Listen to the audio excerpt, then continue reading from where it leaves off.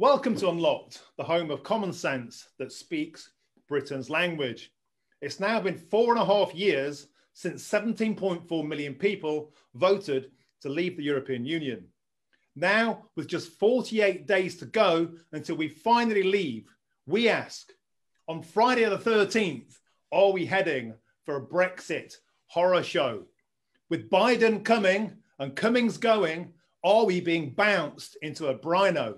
On today's Unlocked, to give you unparalleled insight, we have five former MEPs, one serving MP, and a Baroness. Uh, we also, well, barring a bombshell, it looks like Joe Biden will be the next president of the USA. So, with us also to discuss what that means for Brexit and Britain's future, we are joined by Sir John the Don Redwood, who this week wrote an open letter to President elect Joe Biden. Well, earlier today, I spoke with Baroness Claire Fox, who this week chastised the House of Lords for repeatedly trying to block Brexit, and today issued the stark warning that Boris is finished if he betrays Brexit. Also joining us will be the battle ready June Mummery and Paul Lines to update us on all the key fishing news, and the formidable June Slater will give us the grassroots reaction. But first of all, to reflect on an action packed week that has seen the dramatic resignation of Number 10's Director of Communications, Lee Cain, and Boris Johnson's Chief Advisor, Dominic Cummings, let's go to Ben Habib, former MEP. So, Ben, what is your reaction to Cummings going? And is this the beginning of a sellout on Brexit? It's been an extraordinary 10 days for Brexit. You know, we've had Trump um, arguably defeat, I say arguably because we've got a judicial review, but arguably defeated in the American elections. We've had the internal market bill, which was meant to undo parts of the Northern Irish Protocol, defeated in the House of Lords. Um, we've had complete silence from David Frost, even though he's had a week of engagement with Michel Barnier. Bishop Barnier, by the way, apparently is on holiday at the moment. Um, and, um, and now today we hear that Cummings has gone. So you know, it couldn't really be have been a worse week for Brexit. And you know, just to just to remind viewers, about a month ago was meant to be the deadline that we would declare to leave without a deal if we didn't have any significant movement in talks with the EU. And here we are a month later, there's been no significant movement. We've seen the geopolitical landscape move against Brexit, and things, frankly, aren't looking all that good. Yeah, I have to say, Ben, I'd just like to give all, all of the guests today and the viewers a bit of feedback. Um, the WhatsApp groups of the Brexiteers on the ground, you know, the, the, the, boots on the ground that knocked on the doors and really got Brexit done. There, there is a feeling um, of morosity, um, a lack of confidence today. I'm hoping that Sir John Redwood shortly can put us right on that. But I also asked a few of our former MEP colleagues for their take on events, and I got a few messages to read out here to all of you. Anne Widdecombe, got back and said Boris has had more extensions than Theresa May and will betray Brexit under the cover of COVID. Chief Whip Brian Monteith said it's now looking like a choice between a poor deal and a no deal, with my money on the former. Not very optimistic there. Christina Jordan warned Brexiteers know how to regroup and do it quickly. Don't insert expletive here, test their patience. And finally, John Tennant up north. People are quickly losing faith in Boris's get Brexit done slogan. So, Ben, what do you make of all that? There's quite a lot of negativity out there. How do we keep the faith and just keep pushing for Brexit? Well, the reality is that this hasn't been a year of getting Brexit done. This actually has been a year of Boris, of us hoping that Boris will save us from the withdrawal agreement that he signed us into. This has been a year really of trying to rescue Brexit. And we've all put our faith in Boris. He was elected with this tremendous majority to get it done. We've all been hoping against hope that he's got some clever plan up his sleeve. But the reality is, if he really wanted to get a proper Brexit, he wouldn't have signed a withdrawal agreement that breaches his con- uh, con- Conservative Party manifesto pledges within a month of having taken office of prime minister. And I'm just going to read, I'm just going to read a paragraph from the Conservative Party manifesto. It states Boris Johnson's New Deal takes the whole country out of the EU as one united kingdom. It takes us out of the customs union, allowing us to set our own tariffs and do our own trade deals. It allows us to pass our own laws and ensures that it's our courts that enforce them. Well, we know now from Boris himself that actually his deal doesn't do that. He's had to go back to the Commons and try and get this uh, internal market bill through to make sure that Northern Ireland isn't annexed by the European Union. And that's been defeated. But more importantly, and this is a really crucial point, even though the internal market bill seeks to bring Northern Ireland back in to the United Kingdom, it offers up no solution for the Irish border. If you neuter the border in the Irish Sea, you still need to put a customs border somewhere. So what we now have is Boris Johnson in all sorts of trouble. He's caught between a rock and a hard place of his own making. We're six weeks or less away from the end of the year, no deal in sight. And I have lost confidence completely in this government's ability to give effect to a proper Brexit. We are going to get one of two things. We're going to get Brino, which he will no doubt champion as a fantastic deal, or we're going to get something that not a lot of commentators have focused on, and potentially an extension in the transition period. But do you not think, Ben, that the Tories are under such pressure to stick to their manifesto come the next election? If they betray the pledges, especially the ones they've made in their manifesto that got the majority, surely that's game over for the Tory party. Are you sure they're going to be so blatantly, um, you know, opposing everything in their manifesto, like you suggest? I, I think they've I think they've run out of options. Um, they're clearly not prepared to do no deal as I've said right from the beginning, if you want a good deal, and indeed as Theresa May and Boris Johnson have both said, if you want a good deal, you've got to be prepared to leave without one. And they have, Theresa May before him and Boris Johnson have repeatedly cried wolf with the no deal threat. And they've repeatedly failed to take action in that regard. Michael Gove is in charge of no deal planning. Michael Gove is famously against a no deal outcome. He said repeatedly, he's on the record saying that no deal is a bad deal. So you can't trust where this government is going. And it's too late, I think, for them to pivot and now give effect to a proper no deal outcome with the benefits of the United Kingdom held first and foremost. We are heading towards Brino or we're heading towards an extension of the transition period. The Prime Minister has failed us on Brexit. And yes, Belinda, it is going to be game over at the next election, as far as I can see. Well, before we put that to Sir John Redwood, those are big things to say. There's an extra reason that we have to get something done. Because look who's back.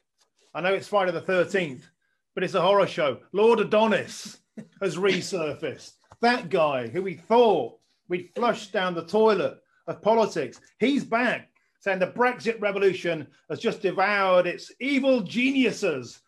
Of course, I'm assuming he's referring to Cummings. Mr. Cummings. and he's saying here, it's my view that when we rejoin the European Union, we will also join the euro. So, John, we're coming to you shortly. This must be stopped. The nightmare. Back to you, Ben. You got a question about what Rishi Sunak said this week, Belinda? Yes, just regarding your article in the Express, Ben. Um, you wrote that Rishi Sunak talks, of, of course, about regulatory alignment in the city. Um, you said this was a disaster, Ben. You said this was a surrender. Can you explain to our viewers what you mean? Well, one of the huge benefits that the European Union currently has is access to the city. They need us a hell of a lot more than we need them. And what Rishi Sunak did on Monday was to unilaterally declare that the city would welcome all EU firms, irrespective of the outcome of Brexit. And in making that unilateral declaration, he effectively gave up one of the best trumps that we had in our hand of cards. And this comes back again, Belinda, to my conclusion that there is no way this government is committed to a proper Brexit. Because if it had been committed to that Brexit, it would have held that trump card until a much later date. In fact, it would never have given that trump card up. Um, you know, I just hold my head in my hands and just wonder what the hell they're up to. Well, I think they're probably using distraction and exhaustion over Brexit to, to perhaps sneak a few things through. I hope I'm proved wrong. Mm. Okay, so Ben, I'm going to ask you the final question of today, although please do stick around. And I'm going to ask this question to all of today's guests and also out there. If you want to get involved with your comments on Facebook, punch some comments in. They're going to be fed to us live during the broadcast. We want to read out the best comments that we get. And it's this question. And I know, Ben, I've asked you many times over the previous year. I want to try and gauge your optimism in marks out of 10. What's your Brexometer score this week with 10 being a delicious, clean break from the European Union and zero being total surrender? What's the scores on the doors this week, Ben Habib? On the 15th of October, when Boris said that if unless the EU makes significant concessions, we're going WTO, I gave him a six. Quite a low mark because I didn't trust him. A month later, I think I'm being proven right. As I said, I believe we're heading for Brino or an ex- extension of the transition period. He's down at one out of 10, as far as I'm concerned. Wow. Wow. Well, that is that's a pessimistic score. I think that's the worst score we've ever had. Yeah, yeah, right. Ben, we're going to park you to one side now because I need to have a little think about that myself. Yeah. I mean, I don't want to be pessimistic. You, know, you and I voted for Boris's withdrawal agreement as MEPs. We placed our faith in the Prime Minister Yeah. to get this job done. And I still, I, I'm glass half full. I, I have to be. I have to be glass half full. What about yourself? Well, do you not think that Boris actually, if he had all his MEPs behind him, the real force fueling and driving him forward as the real backbone against the EU's unreasonable demands, he would be in a better place? It just makes me wonder what obstacles is he facing, perhaps in his own party, that's making him retreat on the pledges? Because surely it's it's in the total advantage for the Conservatives to stick to their manifesto. As Ben said, come next election, who's going to trust what manifesto they put to the people again? Well, Belinda, that's an excellent segue into our next guest.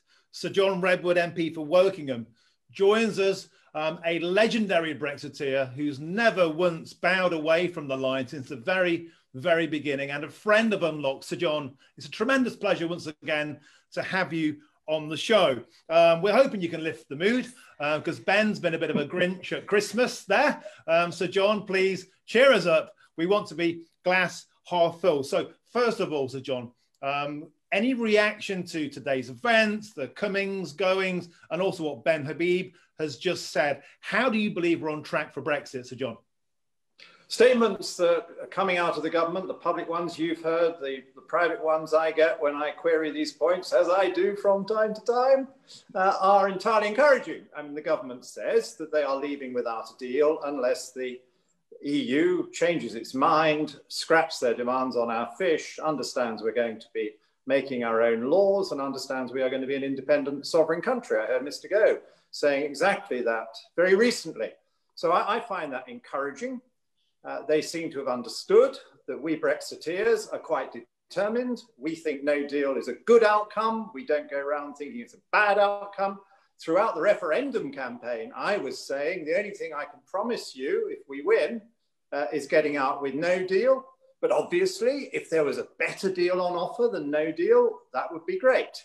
And if the EU was sensible, there would be a better deal on offer than no deal. There would be a tariff free trade arrangement as well as us regaining our independence. But if the EU is not sensible, if they're out to make a political point, then we must just leave without that.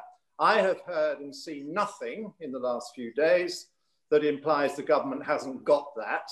Uh, and I stood on that manifesto. I think it was the first time for a long time I was able to stand on the manifesto without writing my own version of it on the European matter because previous conservatives hadn't uh, taken the view that I took that we needed to leave the EU. I used to campaign for a referendum when my party didn't want one. We then got the party to want a referendum. And then when Mrs. May was our leader, I always made clear that I thought the no deal option was probably the best we were going to do, and we should be, should be proud of that. So I, I think we need to keep up the pressure because you can never be sure, of course. I can't make you promises, it's what the government does. But I can tell you this you're, you're only going to have this government leading us through this process. It's recently elected, it's got a big majority, it said the right things in the manifesto. Uh, so those who are optimistic, just wait for the ride to complete.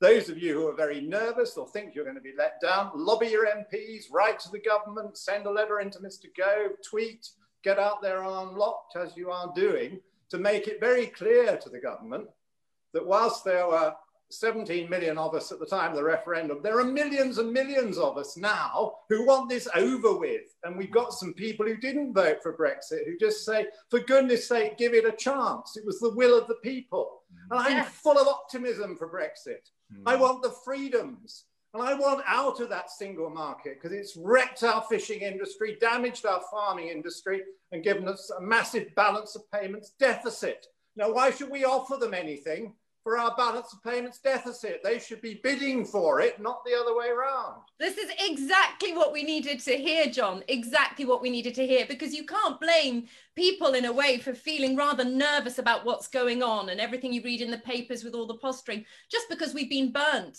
for the past four years with feeling like we were conned out of what we voted for by various politicians, Labour and Tory. So that's that's fantastic. I wanted to to ask you because, before that. Oh, yeah. So John, we're back in the room. Positivity is back in the room. Thank you for that, mate. We needed it. After Ben Habib, I was feeling a little bit morose. On to you, Yeah, no, I love that. Exactly. that, that's why we love you on this show, John. Um, so yeah, you did tweet today, which I thought was really interesting, that the EU single market has damaged our economy crippling us with huge trade deficit whilst we have a, mm. a surplus with the rest of the world. You know, the, you said they took our fish, they cut our food production, and even pushed us into importing electricity. Time to break free and do better. Is that what the majority of Tory MPs also feel? Is that the force in, in government at the moment? Yes, a majority of Tory MPs, of course, they think that. I mean, they should all think that because we all fought on the same pro Brexit manifesto, but I can't speak for every one of them. Uh, but those crucial MPs who won seats for the first time from other parties, particularly from Labour, they feel this. They know that they got those votes because they were promising a clean, undiluted, freedom seeking Brexit.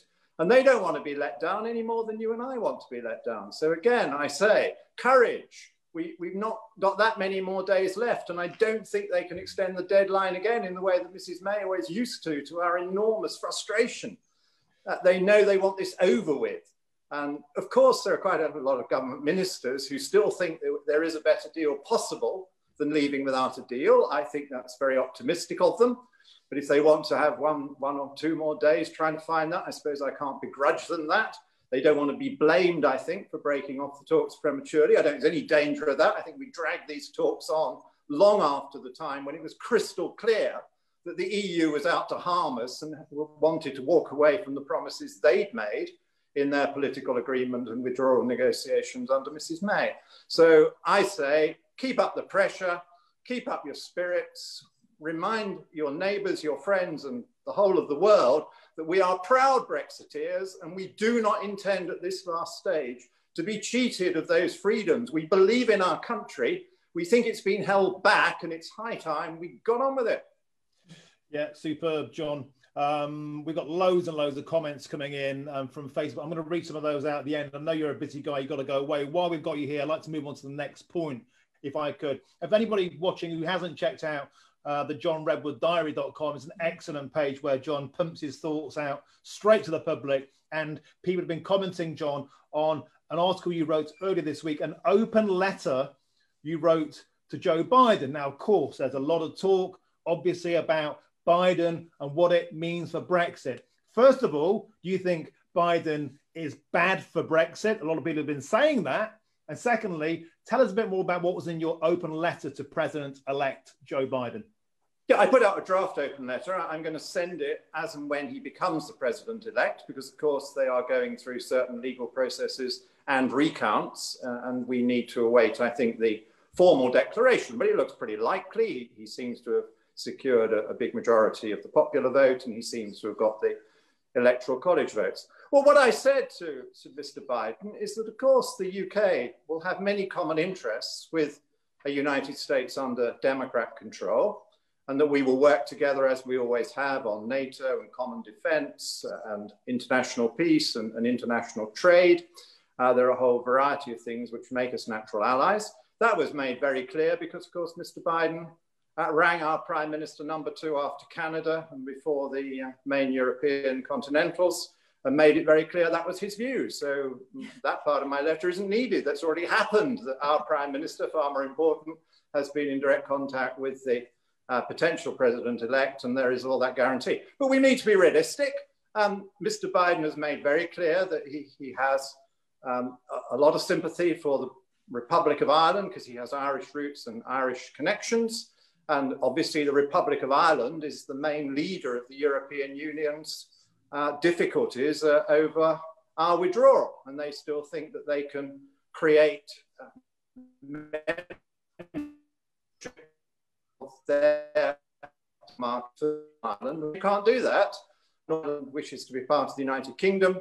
It's going to be fully part of our single market. And of course, there will be an electronic border between our single market and the European single market. Now, I don't buy into this line that because there could be tariffs, there therefore has to be a physical border on the island of Ireland. I don't see that at all. What people seem to forget is this is, this is already a very important international border.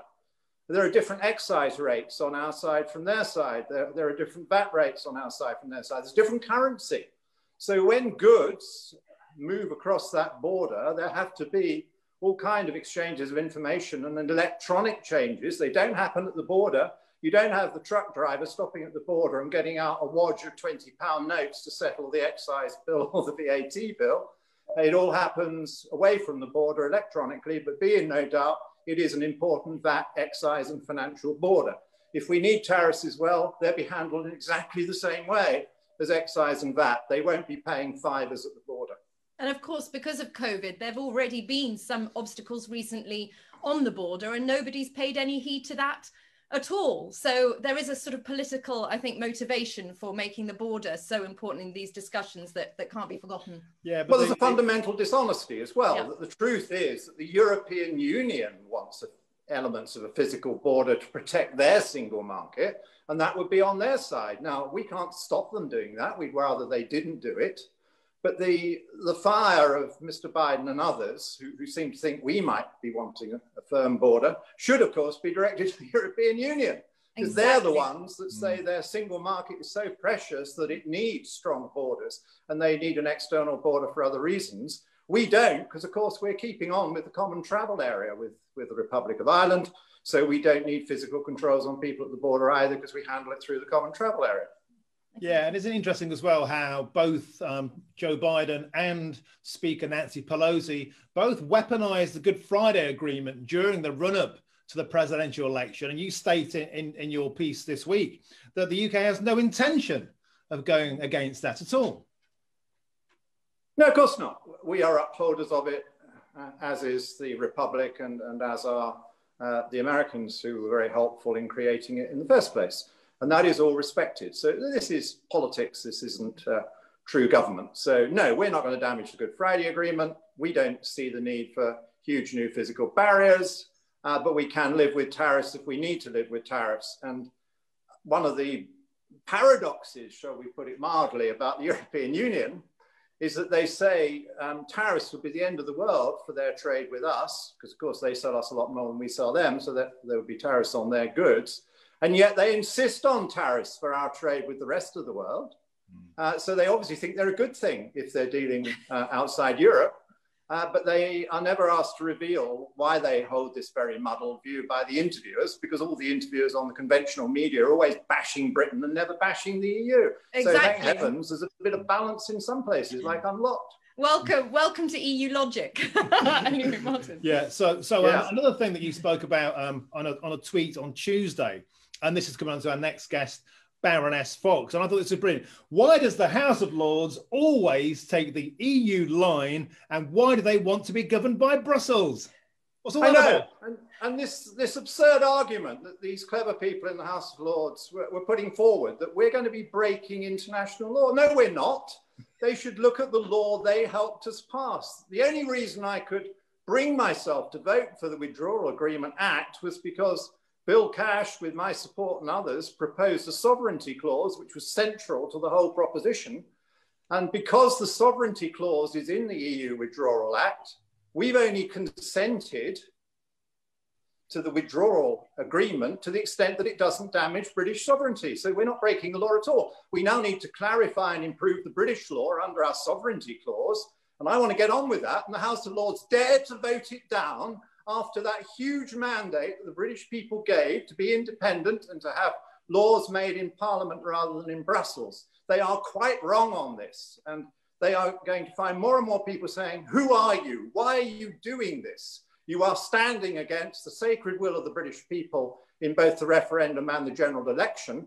And you are against the law you helped pass, which, to my delight, had as a central feature of it that in future we make our own laws, whatever the EU might say. Bring yeah. it on. Get, get on with it. I love it. Absolutely. Well, the House of Lords have not done themselves any favors the past four years, constantly trying to derail a democratic, not just one democratic vote, but conti- I think we've voted four times for Brexit. Yeah. But John, I wanted to ask you in, in these sort of uncertain, worrying times for Brexiteers, where again, we don't know what to believe, we don't know whether to get our hopes up or not. Do you have a message for all our viewers, all the Brexiteers and Democrats out there? Yes, carry on. Believe in the faith and tell all those who don't that they're wrong and that they must go along with the will of the majority and the will of the British people. As you say, we've been asked many times now do we still want this? I want it even more. I'm even more frustrated at the delays, the dilution, the attempted unwinding of this vote of the British people. And I'm thrilled that the British people still want to get on with this. And so you can help us. All of you watching can help us make sure people know you want this and you're going to have it. Yes, John. Yeah, so let's just, let's be part of the next resilient generation. The Queen often talks about her resilient generation who went through quite clearly far worse. But we do need to keep the faith and not be mm. battered and distracted and exhausted to just let it all go. So I'm so glad to have you on the show to have that energy and positivity. John, John, I got one final question. Just want to add that during your effusive message, then I think I saw Paul Lines take a tug from his hip flask on his boat in Great Yarmouth. So you certainly get the spirits of the nation rising. John, I'm asking everybody today before I read out some messages from Facebook because they're pouring in. John, you're getting people excited out there. John, scores on the doors. With 10 being a beautiful, clean Brexit and zero being complete capitulation to Brussels, where are we today, Sir John? I'm not a commentator in this. Uh, I'm one of the partisans, so I don't give you a commentator's score. I want a 10. I want to be there and deliver the whole thing. I want it clean, pure, freedom loving. And when we look out at our great ports and see how few fishing vessels there are left, as you're going to see shortly, I think, it is a disgrace. And those ports that were once filled with fishing vessels, landing fish in Britain that we could eat or could add to our processing industries have been taken away from us and given elsewhere. The sooner we get them back, the better. So, John Redwood, as ever, an absolute pleasure and never a chore. You've certainly raised our spirits, certainly with Paul Lines. I think he just got a couple down him. Thank you very much for coming on Unlocked today. You've been a great friend of the show, and please come back on for much, much more. Thank you for your time. Thank you. John. So, John, and viewers out there, if you want to get involved, please share with your friends, tell them about Unlocked Follow us on Facebook at Unlocked United Kingdom, on Twitter at Unlocked underscore UK underscore. Send us your questions. An absolute shed load of comments have come in. Belinda's going to read a few out now, if I could, before we go to our interview with Claire Fox. Pete Sonics, wouldn't it be great to be full of confidence in our government? Nurse, I think I think he's taking the Mickey there. The next comment is from Richard Beardwell. I voted for Boris as little good opposition available, and I am bitterly disappointed. Doesn't quite share Sir John's optimism, but not quite as pessimistic as Ben Habib. Next comment from Jane Marie Smith. I voted for Boris to get the job done. I'm afraid he's not going to do it. My trust in him has now gone. Not quite so good. And one final one, and this is one I like from Johnny Reed. The referendum was asking if we wanted to leave. We were never asked if we wanted a deal. And isn't that a true point? John, you're nodding yeah. your head there. It's almost going to fall off. Cut back on that. Yeah, absolutely right. I voted to leave not for a deal. Um, we weren't asked for a deal. And if we'd been offered the kind of deal the EU has in mind, we'd all have said no. That is quite obvious. And I want to get behind you. Unlocked, great. Get the message out. People support Unlocked. You support the cause. Thank you. Thank you very much. And, that, and, that's a nice little plug there for, from Sir John at the end. Thank you so much yeah. for your time. Please that, enjoy your weekend. Keep up the good work, sir. Well, that was rabble rousing. you know, but we needed it yeah. because we we don't have that that security anymore. Brexiteers and Democrats and everyone who just wants to get a good. If it's worth doing, it's worth doing well. If you mm. have a fudgy, dodgy deal, well we'll be back to square one in a few years and there'll be another referendum trying to get us back into the EU. Mm. That's why it's so important it's done well. So, so are you keeping the faith in Boris Martin? Um, I'm always a glass half full person. If it's not glass half full, it's time for another glass full. uh, but my point is is is this: um, I, I really enjoyed John getting furious there with the House of Lords. because they have absolutely been a constant donkey at the gate. They've been blocking democracy ever since the start, but things have changed. Mm. They've invited in a certain Baroness Fox of Buckley. and wow, she was really in effusive form earlier on when I spoke to her today. She talked about Boris being um, in grave peril if he doesn't deliver. But the first thing we talked about was an amazing speech she gave on Monday. We're going to cut to that and then her interview and then back to the studio. Outside of this place and outside of the Westminster bubble, this row over Part 5 is seen as a last-ditch battle in the Brexit wars, yet another attempt at using legalese to delay the realisation of finally being free of the EU's jurisdiction. I beg to differ with my Honourable Lord Howard because a certain type of Remain supporter, having lost at the polls, seem keen to use this House to kill the bill – I have heard Honourable Lords here state this place must block, block, block again and again and again. But whether Brexit is the reason or not, perhaps more humility is required in this House. So, Baroness Fox, an absolute tub thumper of a speech on Monday. Brilliant, brilliant viewing. You're doing exactly what we wanted you to do, and that's to be a wrecking ball inside that place. Before we return to the detail of that, could I please ask you to reflect upon the dramatic announcement of Dominic Cummings leaving number 10? Seems to be chaos. What do you think this means for Brexit, Claire? So we've got to bear in mind that we don't know what it means for Brexit because this is court politics. This is not dem- dem- democratic politics. There's like a court around, you know, of courtiers vying for influence over Boris Johnson.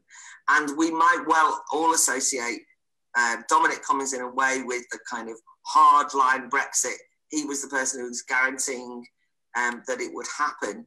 But it's also the case that a lot of things that appear to have been happening under Dominic Cummings have not been positive about Brexit or COVID or anything else. So I don't want to make it sound as though he's the hero and without him it'll all go away because that's not quite true. And it is interesting, don't you think, that there are people like Priti Patel and various other Brexiteers who are glad to see the back of him. So don't let's think that's the main thing that we need to see. But anything that's a clear out of the vote leave crowd from number 10 unelected officials that they are, therefore anti-democratic anyway, in a way that they're so influential, uh, makes you nervous that maybe this is a softening of the Brexit moment. Yeah, I mean, it certainly seems that way. You'd have seen you're in this um, MEP WhatsApp group, the Brexit Party, Anne Widdecombe saying just now Boris has had more extensions than Theresa May and he will betray Brexit under cover of COVID, Claire. Well, that's what I, I think it's more that I'm more nervous about the direction of travel in general. You know, not that's what I'm saying is the Dominic Cummings thing, don't let's get overly distracted. I, I, under the cover of COVID, I mean, they've done quite well of not using COVID up until now in some ways. But I think what we have all been aware of is that there doesn't appear to be the courage to really look the EU in the eye and just say, you know, you're the ones acting in bad faith all the time and we're walking away. That everybody is so desperate to get a deal. And, I, and I, I, it's not that it's not that a deal was never going to be possible or even positive, but it just feels to me as there's too much attempts to get a deal at all costs, and and that makes me nervous. The extension thing is what we need to look out for, isn't it? You know, there's this. Can we delay it a little bit more? Can we just move it into the long grass further? And I'm nervous. I'm not as pessimistic as some of my fellow former MEPs, I, uh, or, or, rather, I don't think it's predetermined. But I was always nervous about these negotiations. Okay, I want to ask you for your scores on the doors at the end of this interview, but before that, let's return to your speech. Now, it's fair to say, once again, Claire, you've ruffled a few feathers this week, and it was particularly beautiful to watch. Something was put into action by you on Monday that we talked about a lot beforehand, and that is the very real sense that the House of Lords was seen by the electorate and by outsiders as little more than a blocking mechanism. And you said the this place must block, block, block again and again and again. Tell us about your speech and the impact it's had, Claire. I think the most important thing to note is throughout the discussions on the internal market bill at the House of Lords, I've been genuinely shocked by the number of people in the House of Lords who've said, in this instance, we're just not going to let this bill through. And the House of Lords generally acknowledge that they have a limited role. You know, they are the people who scrutinise legislation and we can have arguments about and and would be right to have arguments about the fact that they're a non-elected body of appointees even that scrutiny role is undemocratic. But they kind of in a way know the limits of their power.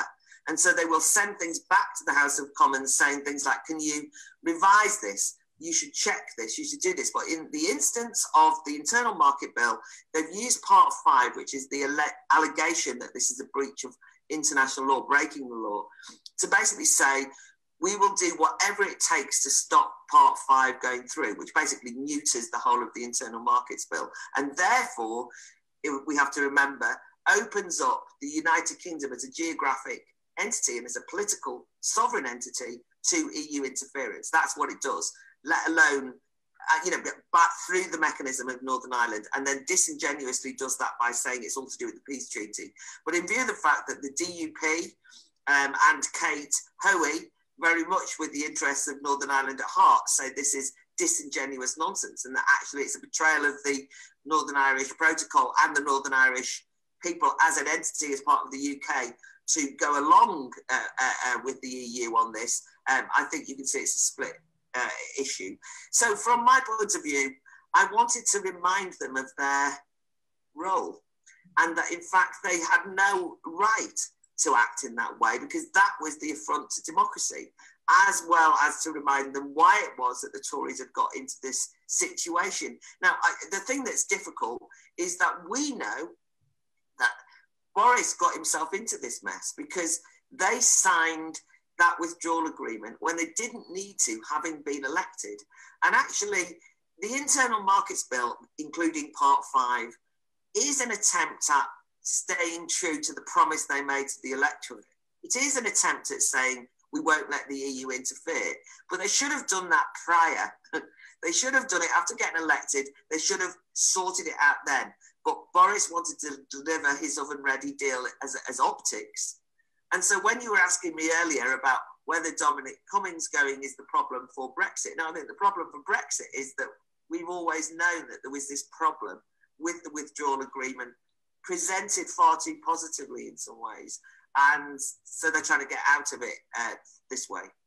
Yeah, and you were absolutely uh, no holds barred. Again, you called the withdrawal agreement shoddy and that Boris signed it, warts and all. But my favourite part of the speech when you said Baroness Buckley, Baroness Brexit, when you said more humility is required in this place, and Lord Howard looked like he'd found a fly in his suit, Claire. Yes, well, you've got to bear in mind that one of the things that threw me is that even though we're saying it's for or against Brexit, Howard is a Brexiteer. And there was quite a few quite hard Brexit people who went against the government on this on the basis that they said it broke international law. And what it dawned on me was that in that house, instead of being Brexiteers, they became lawyers. It was like being confronted with a house full of QCs. There was a great speech by uh, Lord Moylan, uh, Daniel Moylan, his great, uh, you know, colleague at Tory, who basically said, "I feel as though I've been, I've woken up in a convention of lawyers. But if you if you had this as a convention of grocers, or if you want workers from the Red Wall, they would have a different approach to it. If you only see it through legalistic eyes, then it is true that formally this breaches the law. If you see it through democratic eyes, you realise that, that international law should never be used in a way to stomp on national sovereignty and national lawmaking. Yeah, and there's a really interesting part where you said um, international law is being treated like God's law, something mere mortals don't understand. But you said a brilliant point Britain is not breaking the law, it's making the law. If anybody out there hasn't seen that speech, it's on Claire Fox's website. Go and have a look. Now, just want to wrap up, Claire. I've asked all of today's guests for their predictions on the direction of travel on Brexit. Marks out of 10, with 10 being that joyous, clean break you and I campaigned for as MEPs, have dreamed of since June 2016, zero being a complete capitulation What's the scores on the doors, Baroness Fox? I think five to six. I think that Boris Johnson, with or without Dominic Cummings, knows that if it is seen that he is to betray Brexit, then he really is finished. COVID has thrown things into the air. A lot of people who voted for him are already upset about lockdown measures. But the one thing they hold on to is that he will deliver some kind of a reasonable Brexit. He's under pressure to do that. It won't be the clean Brexit we want, but it could be a sufficiently good enough break from the EU that we're happy. He's still got a chance, which is why this programme and all of those people who are watching must keep up the pressure. He's not just doing this on his own. And if he thinks that the public will, the red wall voters, and everyone else will be furious with him, we know he's a populist, we know he's an opportunist, and we know he doesn't like upsetting too many people. So let's remind him how upset we'll be. I mean, there she is. A lot of people uh, were surprised when she was um, put into the House of Lords, but isn't she doing her job? She's like a wrecking ball to that place, Belinda. Oh, I'm so proud of her, and she speaks for so many of us. And the, the, the really important point I think Claire highlights, which many of us feel, that for many politicians, diplomats, former politicians, there comes a point in their career where they start to, their ego starts to sort of uh, be more um, supported by international applause, the national applause. There's a sort of a, a disconnect where, you know, a, a, a, drink stew at a Foreign Office party with their international friends approving of them becomes far more important than, than reflecting, representing the people mm, of their mm, own country. Yeah. And this is what happens with MEPs. It's what happens with the House of Lords. They, they just become disconnected from the, the nation they're supposed to be representing. Yeah. And uh, before I go to our fishermen's friends, June Mummery and Paul Lines, again, we've got some beautiful messages coming in. And I think this one just sums it up. And I think everybody watching this will agree.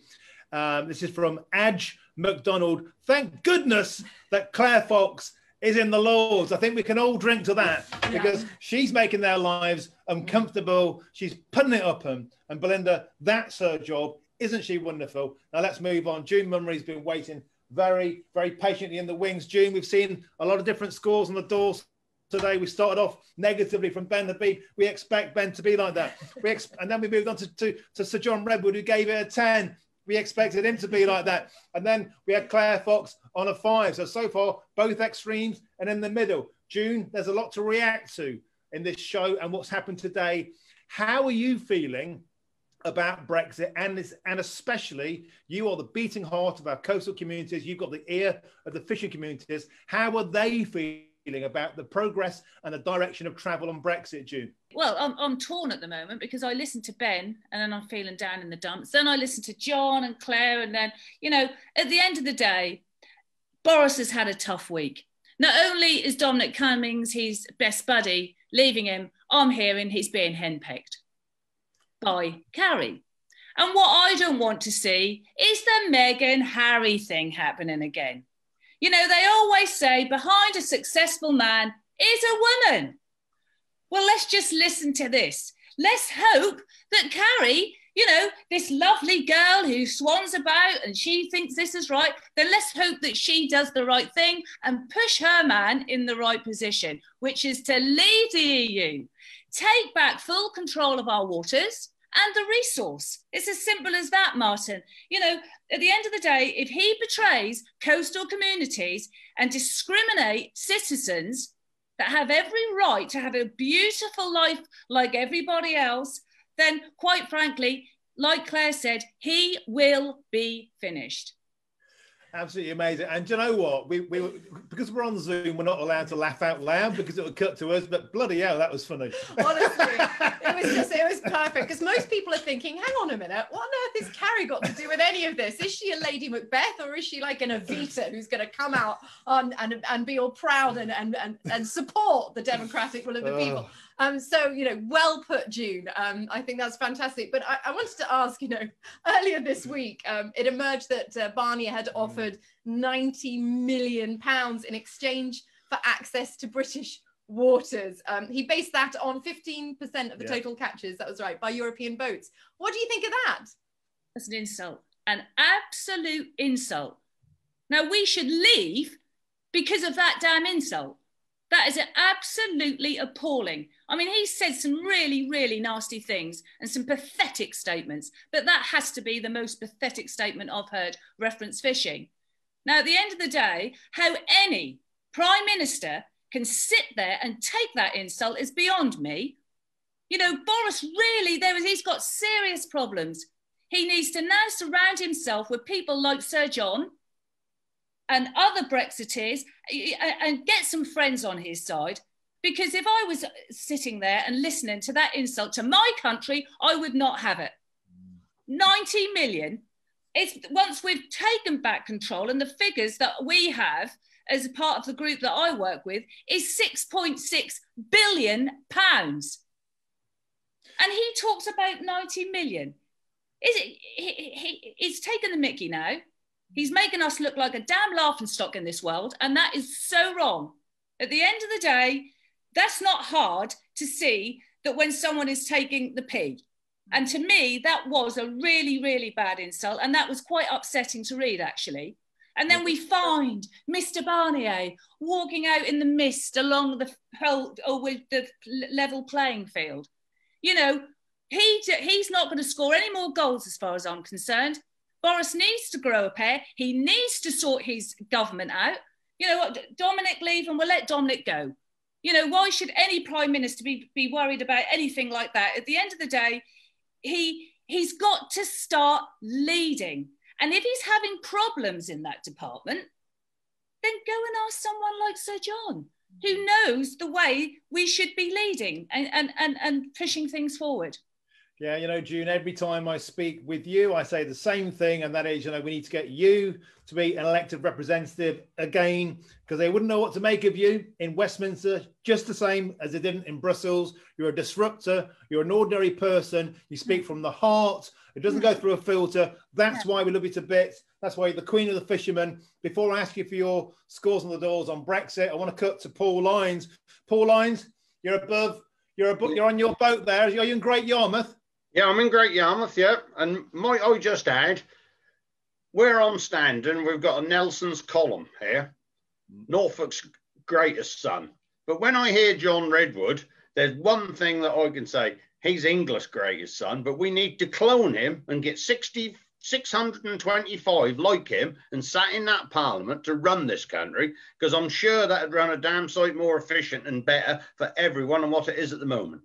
Well, there we go. The, an- the, the, answer to our problems is human cloning. Paul, I'm afraid for now that's beyond our grasp, even of the best scientists in Britain. Look, two big points I want to put to you, Paul, and I hope you are. Was that a hip flask you were drinking from there, by the way? And if not, why mm. not? No, it's Diet Coke, I'm afraid. Oh, you let us ah, down. It's not Nelson's rum from the barrel on his ship with his skull in, I think it was, it? I was expecting a bit of Navy rum on board there, Paul. Anyway, look, two points. First of all, Ben Habib, who's still on the line, he said in an article in the Express this week, he thinks that Barnier will get what he wants. And he believes that Boris will give away quotas to France and Holland on a tapered down three year basis. How would that go down in the coastal communities? Well, that's just an abject failure, that is. That won't go down at all because the thing of it is, he ain't got any quota to give them because they nearly got it all anyhow. That that meant to say that with the one boat left in Great Yarmouth and the ten left in Lowestoft will go down to none, because they have got the vast majority of quotas that are available in the North Sea and the Channel now. So you you, you can't give them anymore, and and I I don't believe that. I don't believe that. I, I, I believe that you can't give away sovereign waters. UNCLOS give us that waters back and the London Convention will give us the six to 12 mile back. UNCLOS take account of the rest. Now, there's an awful lot of scaremongering going out there, and I have a positive view on Brexit, like John Redwood do. And I, I think that it's it would be unforgivable to do any deals on fishing at this stage because the government will just be throwing themselves to the wolves. They, I don't honestly think they're stupid enough to do that. I really don't. I give them more credible than doing that. Yeah, no, that's a good point. Um, two two things, Paul. Um, one, have you seen any preparations that the government might have been making along the coast to prepare the coastal communities for this incredible new fishing freedom we're about to have? And number two, after 40 years of EU membership, how many boats are left, fishing boats are left in Great Yarmouth? Well, there's one fishing boat left in Great Yarmouth. I'm, I'm on a new vessel that my son is preparing, ready to go to work. I'm going to retire and work on my little boat, and he's working on this big boat. But the government have had four years to prepare for us leaving, and they've done nothing. Hmm. They, they, they haven't got enough personnel. They haven't got enough officers, and and and they actually will be asking for extensions to do this because they aren't prepared for us leaving Europe. That's just crazy situation. That we see it every day. Me and June have been to meetings, and June always asks us, "Well, what preparation work have you done?" And they do not want to answer that question. They do not want to answer that question. What are they prepared to do? Because basically, it's nothing. Okay, well, before we move on to our final guest, June Slater, I want to ask our two fishermen friends for your scores on the doors 10 being a beautiful clean break, zero being capitulation. First of all, June Mummery, how are you feeling about the scores on the doors? Martin, it's a difficult one. Um, five, actually. I think that um, Boris will probably watch this. I'm sure Carrie will get him to tune in and to what, have a little look at this. And after watching this, you know, five. You know, I put on a, a on a, a, bet for um, Donald to win, and I'm I think I've lost that. So I don't know. Actually, I, would say five. Um, I, you know, 50-50. I mean, it's 50, ridiculous. Yeah. All right, June, thank you very much for that. Um, and Paul, what are your scores on the doors? How, how close to a clean Brexit do you think we are now? Well, I'm going to go for a 6.5. okay, that's positive. That's, that's well, hopeful. Well, John, listening to John Redwood, that would lift anyone's spirit. What a great man he is. Well, I've always admired John Redwood.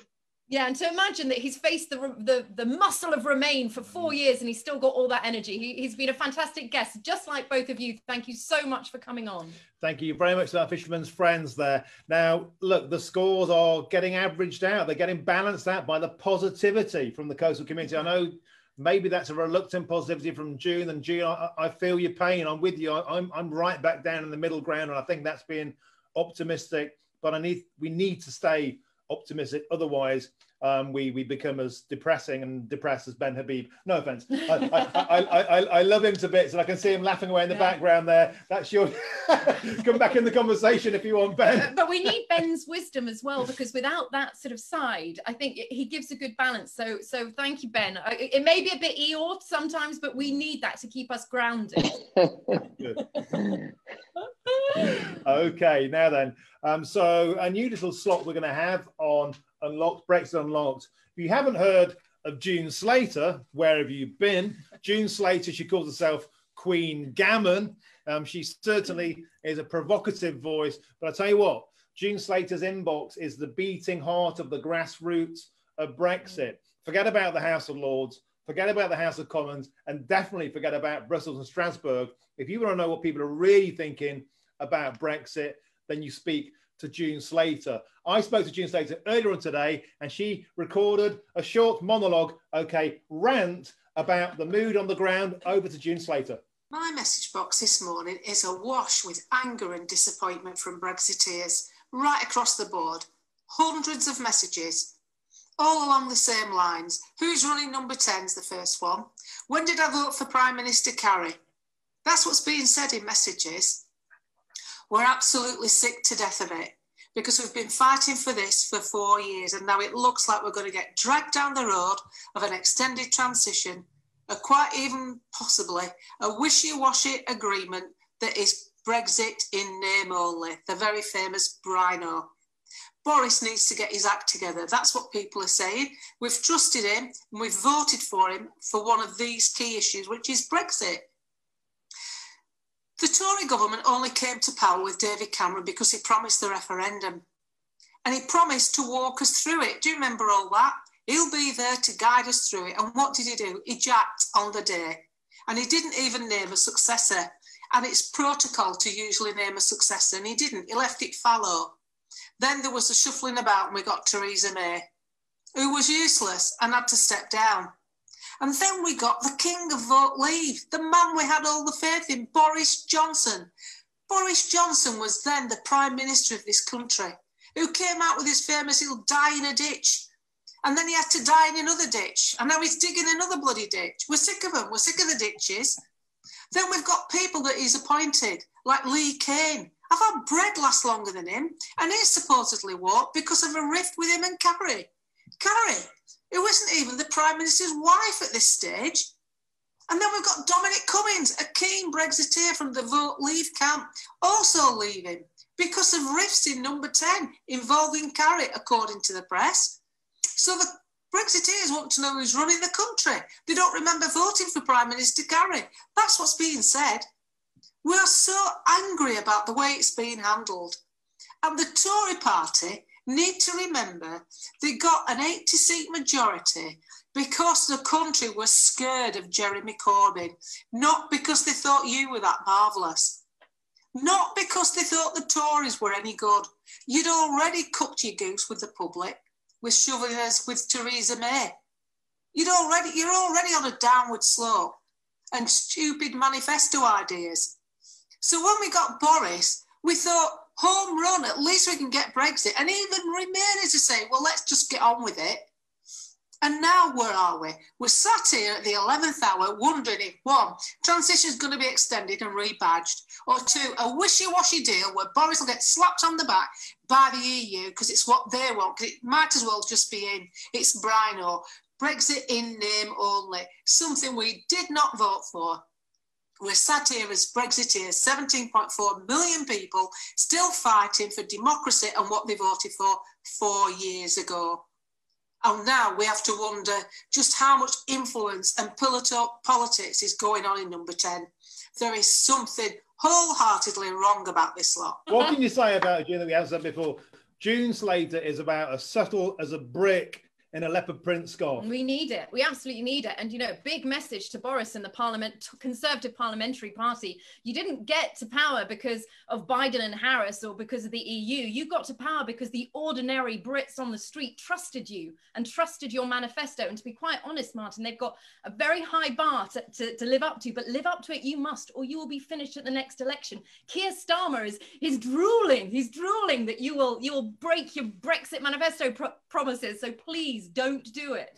And it's interesting how June Slater also concurred with June Mummery and the general public picking up on the fact who's actually wearing the trousers yes. in 10 Downing Street. And that thing about Harry and Meghan I thought was absolutely epic. I'm going to be laughing about that after the show as I raise a drink. Sadly, we can't do it in a pub because they're still locked down, but we're going to have a little drink after the yeah. show. I hope you will do the same at home. Now, thank you so much for tuning in today to Brexit Unlocked. If you like what you see, please share with your friends. followers on social media at Facebook. It's at Unlocked United Kingdom. On Twitter, send in your comments, stay involved, keep the faith. But the main thing is we must keep up the pressure. There's only 48 days to go. It's been too long a journey, Belinda, for us to stop now. Yeah, absolutely. Keep the pressure up. People power. You know they go wayward, these politicians, unless the people keep the pressure up. So thank you for joining us very and much. One final point. Um, June Slater has just texted in and she gave me her scores on the doors. And just like you, Paul Lines, she was saying she was feeling very low before John Redwood. She was a three before John. She rose to a five. So the Redwood effect has been lifting the troops. I guess that's his job. So quickly, Ben Habib, one out of 10. John Redwood, 10 out of 10. Claire Fox, five out of 10. June Mummery, five out of 10. Paul Lines, 6.5 out of 10. June Slater, five out of 10. What's your score, Belinda? All the deadlines have been missed, so I don't think he's serious about a no deal. I think it's five out of 10. Five out of 10. I'm going to go, I'm going to go four. I'm sorry to end on a negative point, but Ben Habib is waving in the background there. He's going to buy me a drink. I have to do what he says. He's the boss. Listen, everyone, thanks for tuning in. It's been a brilliant episode. Thanks for watching Unlocked. We love making these shows. We're the new kids on the block. Please follow us, share with your friends. We're not going to stop until we get the job done. Thanks for tuning in. We've been Unlocked. Thank you and good night. Good night.